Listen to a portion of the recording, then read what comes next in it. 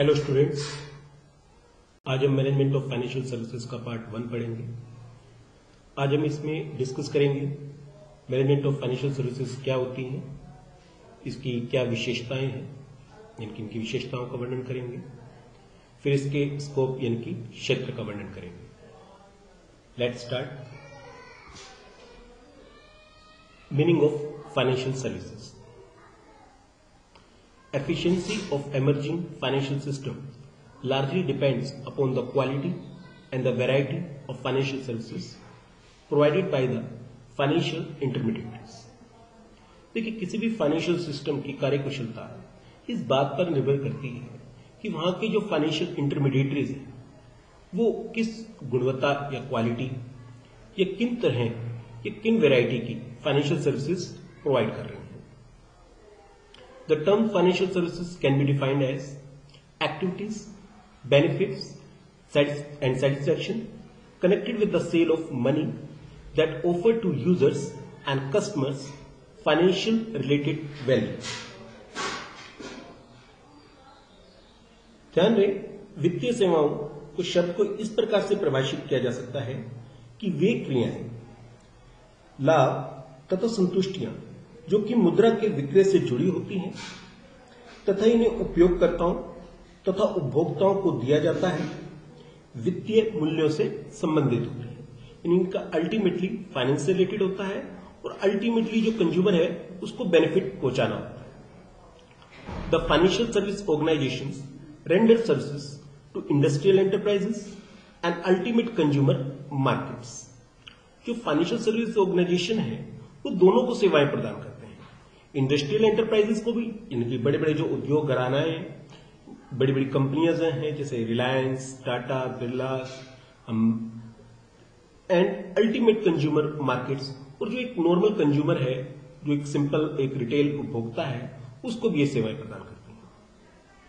Within the financial services industry the main sectors are banks financial institutions and non banking financial companies हालाँकि financial industry के अंदर बहुत सारे sectors हैं, लेकिन उसमें जो स्पेशली फ़ेमस हैं, वो हैं banks financial institutions and non banking financial companies main ये तीन ज़्यादा डोमिनेटिंग रहती हैं इस फाइनेंशियल सर्विसेज़ के अंदर। Come to the next topic अब हम डिस्कस करते हैं characteristics of financial services number one intangible देखिए, क्योंकि ये सर्विस है सर्विस जो भी होती है वो इंटेंजिबल होती है अदृश्य होती है। ना तो आप उसे देख सकते हैं न छू सकते हैं न सुन सकते हैं केवल महसूस कर सकते हैं। कैसे? अब फाइनेंशियल सर्विसेज़ भी है वो भी इंटेंजिबल है। हाँ जो कस्टमर्स के फीडबैक हैं उससे हम उसकी गुणवत्ता की जाँच कर सकते हैं कि जो हमारे हम जो फाइनेंशियल सर्विस कस्टमर को प्रोवाइड कर रहे हैं वो आ, उस कस्टमर्स को वैल्यूएबल भी है या नहीं है? कस्टमर से संतुष्ट है या नहीं? है सेकंड डायरेक्ट सेल जो फाइनेंशियल सर्विसेज़ होती हैं, उसमें डायरेक्ट सेल होता है। डायरेक्ट सेल का मतलब इसमें जो प्रोड्यूसर है इनकी बनाने वाला है सर्विस को प्रोवाइड करने वाला है, वो डायरेक्ट सेल करता है कस्टमर को। यानी कि इसमें इंटरमीडिएटरी यानी कि बीच में मध्यस्थ नहीं होते। और दूसरी बात, क्योंकि सर्विसेज़ को हम स्टोर नहीं कर सकते प्रोड्यूस करने के बाद, इसलिए इसका प्रोडक्शन और कंजम्पशन दोनों साथ साथ होता है। और क्योंकि इसका मकसद जो होता है, वो कस्टमर को सेटिस्फाई करना होता है। इसलिए सर्विसेज़ इस तरीके से तैयार की जाती हैं कि जिससे कस्टमर ज़्यादा से ज़्यादा सेटिस्फाई तीसरा हेट्रोजिनिटी विविधता। क्योंकि जो फाइनेंशियल सर्विसेज़ हैं, वो एक वाइड वेराइटी है। हर एक कस्टमर को हम सेम फाइनेंशियल सर्विस प्रोवाइड नहीं करते। अब जस्ट लाइक आप बैंक में जाते हैं तो बैंक में कई तरह की फाइनेंशियल सर्विसेज़ का पैकेज हमारे को मिलता है। जस्ट लाइक वहाँ पर हमें इंश्योरेंस के भी प्रोडक्ट मिलते हैं इंश्योरेंस की सर्विसेज़ मिलती हैं बैंकिंग की सर्विसेज़ मिलती हैं म्यूचुअल फंड की सर्विसेज़ मिलती हैं। हर एक व्यक्ति की जो नीड्स होती है वो डिफरेंट होती है। तो इसमें हेट्रोजिनिटी पाई जाती है, यानी कि हर एक कस्टमर को उसकी सर्विस वाइड रेंज में से उसको, जो उसकी चॉइस है, जो उससे उसको ज़्यादा से ज़्यादा सेटिस्फाई कर पाए, उसके लिए हम उसको सर्विसेज़ प्रोवाइड करते हैं। अब जस्ट लाइक एक एग्जांपल ले लेते हैं। जो ओल्ड एज पर्सन होते हैं, वो अपना पैसा सेफ़ रखना चाहते हैं। उसके लिए बैंक उनको बैंक एफडी की एक सर्विस प्रोवाइड कर रहा है, जहाँ पर सीनियर सिटीजन को इंटरेस्ट भी थोड़ा सा नॉर्मल एफडी से ज़्यादा देता है। ऑन द जो यंगस्टर हैं, वो रिस्क लेना पसंद करते हैं। उन्हें बैंक जो है म्यूचुअल फंड की सर्विसेज़ प्रोवाइड कर रहा है। तो यानी कि जो फाइनेंशियल सर्विसेज़ है, उसमें काफ़ी हेट्रोजिनिटी पाई जाती है। Number four the fluctuation in demand जो फाइनेंशियल सर्विस इनकी डिमांड में भी काफ़ी फ्लक्चुएशन पाया जाता है, क्योंकि इकोनॉमिक एक्टिविटीज़ में चेंज आने पर इनकी डिमांड में भी चेंज आता है। अब फॉर एग्ज़ाम्पल हम ले सकते हैं just like in the month of March जैसे मार्च आता है तो ज़्यादातर जो हमारे देश में लोग हैं, वो अपने टैक्स सेविंग के बारे में सोचने लग जाते हैं। इस टाइम क्या होता है, ज़्यादा से ज़्यादा जो लोग हैं, वो या तो टैक्स सेविंग एफडी खरीदते हैं, या अपना पैसा इंश्योरेंस में लगाते हैं, जिससे कि वो टैक्स डिडक्शन में अपना पैसा दिखा सकते हैं अंडर द एटीसी तो वनस्पत पूरे साल की तुलना में मार्च महीने में जो है इंश्योरेंस प्रोडक्ट्स की डिमांड अचानक और ये टैक्स सेविंग एफडी है उसकी डिमांड अचानक बढ़ जाती है। अब एक एग्ज़ाम्पल और भी ले सकते हैं। Just like at present covid nineteen यानी कि कोरोना वायरस चल रहा है तो इन दिनों जो पब्लिक है, जो पीपल्स हैं, वो अपने हेल्थ के प्रति ज़्यादा प्रिकॉशियस हो चुके हैं। इसलिए इन दिनों जो हेल्थ इंश्योरेंस की डिमांड है, वो एकदम सडनली बढ़ गई है। तो यानी कि एनवायरमेंट चेंज होने पर इनकी डिमांड में भी बहुत फ्लक्चुएशन होता है। फिर प्रोडक्ट कंज्यूमर्स इंटरेस्ट हाँ प्रोटेक्ट कंज्यूमर इंटरेस्ट बहुत इंपॉर्टेंट है। उपभोक्ता के जो हित को सेव करना सबसे ज़्यादा इंपॉर्टेंस पार्ट होता है फाइनेंशियल सर्विसेज़ का। क्योंकि जो फाइनेंशियल सर्विसेज़ का बेस है वो कस्टमर है। अगर कस्टमर का जो इंटरेस्ट है वही सेफ़ नहीं रहेगा तो नेचुरल बात है फाइनेंशियल इंस्टीट्यूशन के लिए सर्वाइव करना बिल्कुल भी पॉसिबल नहीं है।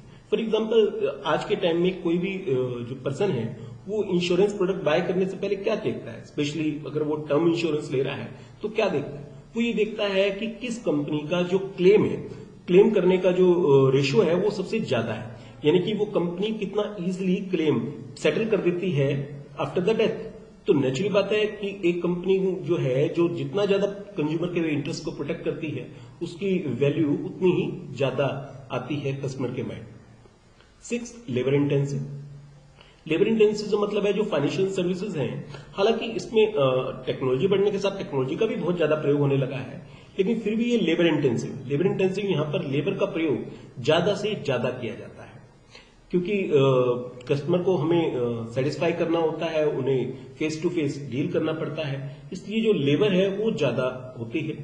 और लेबर की ज़्यादा रिक्वायरमेंट की वजह से जो इसकी कॉस्ट है, वो कंपेटिवली ज़्यादा होती है फाइनेंशियल सर्विसेज़ की।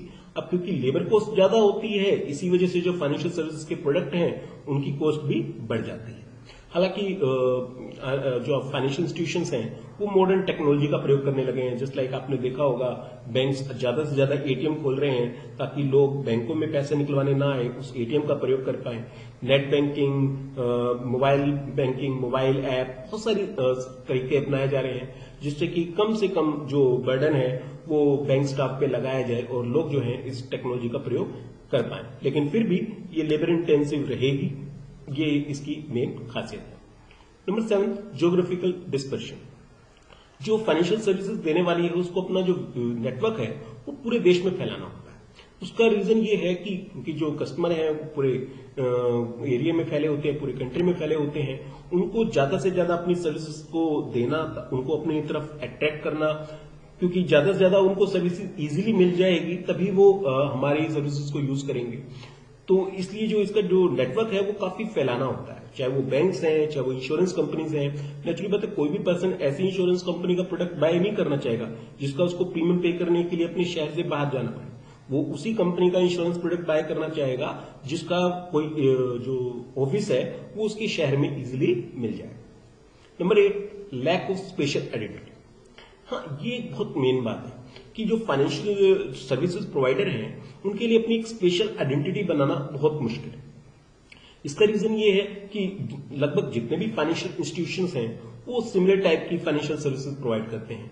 आप किसी भी बैंक में चले जाओ, वहाँ पर आपको saving account current account fix deposit account recurring deposit account loan की सुविधा, लगभग सब जगह मिल जाएगी। तो इसलिए क्योंकि कोई भी जो फाइनेंशियल इंस्टीट्यूशन है, वो कोई एक फाइनेंशियल सर्विस नहीं प्रोवाइड करता, बल्कि पैकेज प्रोवाइड करता है। तो इसलिए किसी भी फाइनेंशियल इंस्टीट्यूशन के लिए एक स्पेशल आइडेंटिटी क्रिएट करना बहुत मुश्किल होता है। लेकिन फिर भी बहुत सारे जो फाइनेंशियल इंस्टीट्यूशन हैं, वो अपनी आइडेंटिटी को बनाने में सफल हो पाए हैं in the mind of customer किस तरीके से? By providing the quality of service by providing quick response जो कस्टमर को क्विक रिस्पॉन्स देते हैं, उनको क्वालिटी सर्विस देते हैं, उनको बहुत अच्छी तरीके से डील करते हैं और उनकी जो कंप्लेंट्स वगैरह को तुरंत सॉर्ट आउट करते हैं तो नाइन्थ आते हैं नाइन्थ इंफॉर्मेशन बेस्ड जो फाइनेंशियल सर्विसेज़ है, उसमें इंफॉर्मेशन का बहुत मेन रोल है, क्योंकि पूरा फाइनेंशियल सेक्टर जो है, वो इंफॉर्मेशन पर डिपेंड है। तो जो फाइनेंशियल सर्विसेज़ प्रोवाइडर हैं, वो इंफॉर्मेशन का कई तरीके से यूज़ करता है। वो इंफॉर्मेशन को क्रिएट करता है, उसको दूसरों को प्रोवाइड करता है और उसका स्वयं भी यूज़ करता है। तो इन इंफॉर्मेशन को प्रॉपर वे में एनालाइज करने से कोई भी फाइनेंशियल इंस्टीट्यूशन अपनी सर्विसेज़ की क्वालिटी को इंप्रूव कर सकता है। वो जान सकता है कि हमारा कस्टमर किस तरह की सर्विसेज़ को यूज़ कर रहा है। वो किन प्रोडक्ट्स को ज़्यादा लाइक कर रहा है। वो अपना पैसा किस तरीके से खर्च करता है। तो इन डाटा को एनालाइज करके हम अपने कस्टमर को ज़्यादा से ज़्यादा सेटिस्फेक्शन प्रोवाइड कर सकते हैं। टेंथ आता है रिक्वायर द क्वालिटी लेबर हमने सिक्स में पढ़ा था लेबर इंटेंसिव यानी कि हमें बहुत ज़्यादा लेबर की ज़रूरत होती है। अब टेंथ में जो हम डिस्कस करें that is require quality labour न केवल हमें लेबर की ज़रूरत होती है, वो लेबर जो है, वो क्वालिटी क्वालिटी से मतलब ये है कि हमें ऐसे लेबर की ज़रूरत होती है जो काफ़ी ट्रेंड हो एज एक्सपीरियंस होल्डर हो तो ऐसे काफ़ी इयर्स के जो ट्रेंड और एक्सपीरियंस लेबर को अपनी तरफ़ अट्रैक्ट करना पड़ता है। और ना केवल ये क्वालिटी लेबर की ज़रूरत हमें हाई लेवल पे पड़ती है, बल्कि एक सिंपल से सिंपल टास्क करने से लेकर हाई से हाई जो डाटा एनालाइजेशन का काम है, वहाँ तक हमें पड़ती है। इसलिए जितने भी बड़े बड़े फाइनेंशियल इंस्टीट्यूशन है, उनका जो बेस है, उनकी क्वालिटी लेबर है। इसलिए वो कोशिश करते हैं कि इस क्वालिटी लेबर को अपने यहाँ रिटेन कर सके by providing monetary incentive non monetary incentive ताकि वो उस लेबर को अपने यहाँ रिटेन कर पाए और कस्टमर को ज़्यादा से ज़्यादा अच्छी क्वालिटी ऑफ़ सर्विस प्रोवाइड कर पाए। आई होप आपको फाइनेंशियल सर्विसेज़ के करेक्टरिस्टिक्स क्लियर हो गई होंगी। Come to the next topic that is the scope of financial services financial services cover a wide range of activities. They can be broadly categorise in two parts namely. देखो financial service बहुत wider है। अब इनको mainly दो parts में हम बांटते हैं। एक ट्रेडिशनल एक्टिविटीज़ दूसरा modern activities again traditional activities या परंपरागत क्रियाएँ जिन्हें कहते हैं, उनको अगेन हम दो पार्ट्स में बांट सकते हैं। एक फंड बेस्ड एक्टिविटीज़ दूसरा नॉन फंड बेस्ड एक्टिविटीज़ और फंड बेस्ड एक्टिविटीज़ क्या होती है? फंड बेस्ड एक्टिविटीज़ वो होती हैं जहाँ पर जो हमें जो सर्विस प्रोवाइडर है, वो कहीं ना कहीं हमें डायरेक्टली फंड प्रोवाइड करवाता है। और जहाँ तक सवाल है नॉन फंड बेस्ड एक्टिविटी है, जहाँ जो हमें सर्विस प्रोवाइडर है, यानी कि जो फाइनेंशियल सर्विस देने वाला है, वो हमें पैसा नहीं दे रहा है डायरेक्टली लेकिन हाँ हमारे को हेल्प कर रहा है बहुत सारे कामों में, और बदले में वो ये सारी चीज़ें फ्री में नहीं दे रहा, उसके बदले में फ़ी ले रहा है। इसलिए इसको नॉन फंड बेस्ड एक्टिविटी या फ़ी बेस्ड एक्टिविटी भी कहते हैं। इन दोनों एक्टिविटीज़ यानी कि जो ट्रेडिशनल परंपरागत क्रियाएँ और मॉडर्न एक्टिविटीज़ आधुनिक क्रियाएँ, इन दोनों को हम डिस्कस करेंगे। सबसे पहले ट्रेडिशनल एक्टिविटीज़ को हम डिस्कस करते हैं स्पेशली फंड बेस्ड एक्टिविटीज़ को। Fund based traditional financial services क्या स्पेशली करते? हैं ये शुरुआत से चला आ रहा है, जो फाइनेंशियल सर्विसेज़ हैं, ये काफ़ी टाइम से करते आ रहे हैं। Just like under writing share and debentures यानी कि एज ए अंडर राइटर का काम करते हैं श्योर करते हैं कि जो हम अपने शेयर और डिवेंचर इशू कर रहे हैं, वो अच्छी तरह सक्सेसफुली प्लेस हो जाए। अगर पब्लिक उन्हें ना खरीदे तो ये अंडर राइटर उस बाकी बचे हुए पर्सन को सब्सक्राइब कर लेंगे। B dealing in the foreign exchange market activities हमारे को आसानी से फॉरेन एक्सचेंज प्रोवाइड करवाते हैं, ताकि हमें जो फॉरेन ट्रेड करने हो वो या इम्पोर्ट के पेमेंट करनी हो, वो आसानी से हो सके। C equipment leasing hire purchase venture capital equipment हमारे को लीज पर प्रोवाइड करवाते हैं, हमारे लिए हायर परचेज का वर्क करते हैं। हम जो बिज़नेस न्यू है या रिस्की हैं, उनके लिए वेंचर कैपिटल प्रोवाइड करते हैं। Dealing in the secondary market activities वो हमारे लिए सेकेंडरी मार्केट में हमें एक्टिविटीज़ प्रोवाइड करते हैं। हमारे सेकेंडरी मार्केट में हमारे शेयर्स को सब्सक्राइब करके हमें फंड प्रोवाइड करते हैं। Participating in money market instruments like treasury bills discounting bills and commercial paper और वो हमारे मनी मार्केट इंस्ट्रूमेंट में भी पार्टिसिपेट करते हैं जस्ट लाइक like जब हम अपने ट्रेजरी बिल इशू करते हैं तो उसमें पार्टिसिपेट करते हैं, हमारे बिल को डिस्काउंट करके हमें फंड प्रोवाइड करते हैं, हमारे कमर्शियल पेपर को बाय करके सब्सक्राइब करके हमें फंड प्रोवाइड करते हैं। आई होप आपको ये ट्रेडिशनल सर्विसेज़ का फंड बेस्ड पार्ट क्लियर हो गया होगा। Come to the next topic अब यहाँ डिस्कस करते हैं non fund based traditional financial services जिसे फ़ी बेस्ड भी कहते हैं। First the management of capital issues यहाँ पर वो क्या करते हैं, जो हम शेयर इश्यू कर रहे हैं, उसका मैनेजमेंट करते हैं। चाहे वो हम शेयर इशू कर रहे हैं डिवेंचर इशू कर रहे हैं, और ये मैनेजमेंट कब से करते हैं?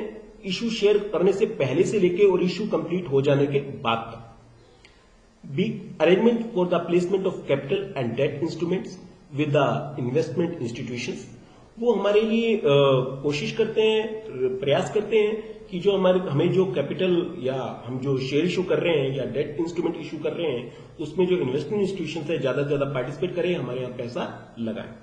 C arrangement of the funds from the financial institution जो बैंकों से या फाइनेंशियल इंस्टीट्यूशन से हमें लोन की रिक्वायरमेंट है, उसके लिए जो जो भी फॉर्मेलिटीज वगैरह पूरी करनी है, उसके लिए जो फाइनेंशियल इंस्टीट्यूशन से बातचीत करनी है मीटिंग अरेंज करनी है, वो सारा काम करवाते हैं।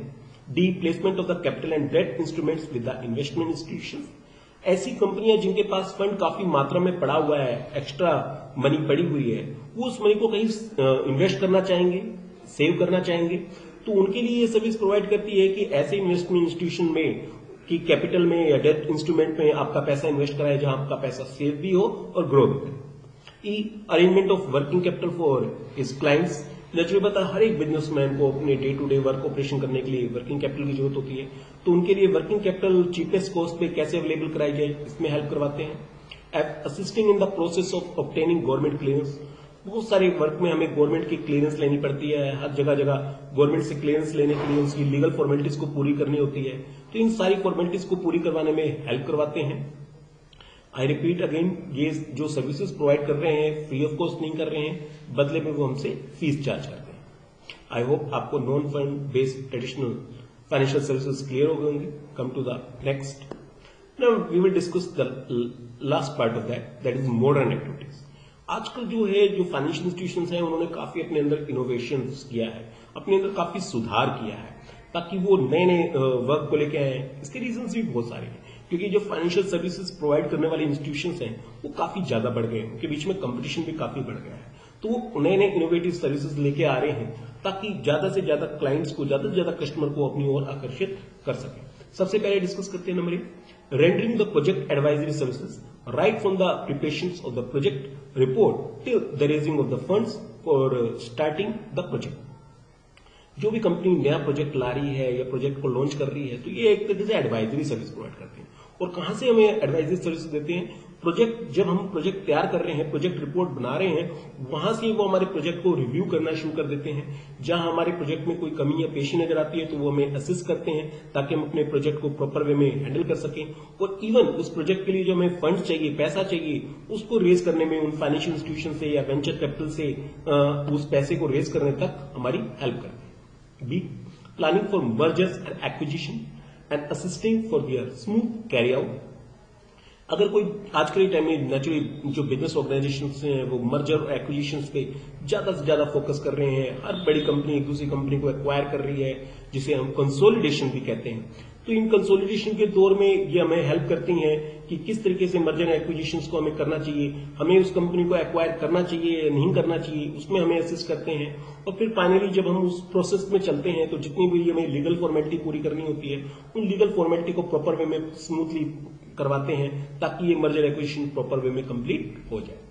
C directing the corporate customer in a capital restructuring कंपनियों को अपने टाइम टू टाइम अपने कैपिटल को रिस्ट्रक्चर करना पड़ता है स्पेशली जो लॉस मेकिंग कंपनीज़ हैं या किसी वजह से उनको अपनी कैपिटल को री शफल करना पड़ा है तो नेचुरली बताइए ये कंपनियों को अपनी कैपिटल को रिस्ट्रक्चर करने में भी हेल्प प्रोवाइड करते हैं। D act as a trusted to the debenture holders debenture holder के इंटरेस्ट को सेफ़ रखने के लिए एज ए सेफ़ गार्ड के रूप में ये ट्रस्टी का काम करते हैं। E recommending the suitable changes in the management structure and management style in to the achieve better results company के रिजल्ट्स को और इंप्रूव करने के लिए कंपनी में और ज़्यादा तरक्की करने के लिए, और ज़्यादा उनकी जो वर्किंग परफॉर्मेंस है, उसमें सुधार करने के लिए, वो मैनेजमेंट के स्ट्रक्चर और मैनेजमेंट के काम करने के तरीके में चेंजेस के लिए रिकमेंडेशन देते हैं, हमें सजेशन देते हैं, जिससे कि हम अच्छे से अच्छे अपनी कंपनी की परफॉर्मेंस को कर सकें और कंपनी के लिए बेटर रिज़ल्ट निकाल सकें। F portfolio management of the large public sector undertakings बड़ी बड़ी कंपनियों के लिए पोर्टफोलियो मैनेजमेंट का काम करती हैं। G. Capital market services such as clearance services, registration, transfer, collection of income on securities, etc. Capital market से रिलेटेड हम आपको कई तरह की सर्विसेज़ प्रोवाइड करती हैं जस्ट लाइक क्लियरिंग की सर्विसेज़ प्रोवाइड करती हैं एक कंपनी के रजिस्ट्रार या ट्रांसफ़र एजेंट के रूप में काम करती हैं और कंपनी के लिए कलेक्शन ऑफ़ इनकम यानी कि कंपनी ने जहाँ इन्वेस्टमेंट कर रखा है जिन शेयर में या डिवेंचर्स पर उन शेयर्स पर डिविडेंड और उन डिवेंचर्स पर इंटरेस्ट कलेक्ट करने में ये हेल्प करती हैं आई होप आज आपको ये तीनों टॉपिक क्लियर हो गए होंगे। फाइनेंशियल सर्विसेज़ का मीनिंग उसकी कैरेक्टरिस्टिक्स और उसका स्कोप आप इस चैनल को सब्सक्राइब कर सकते हैं ताकि आपको आने वाली वीडियोस का नोटिफिकेशन मिल जाए। अगर आपको वीडियो पसंद आए तो आप इसे लाइक भी कर सकते हैं। आप अपने सुझाव व प्रश्न भी कमेंट बॉक्स में लिख सकते हैं। आपके सुझाव बहुत इंपॉर्टेंट है, जिन्हें हम अगली वीडियोस में इंक्लूड कर सकते हैं। Thank you stay home stay safe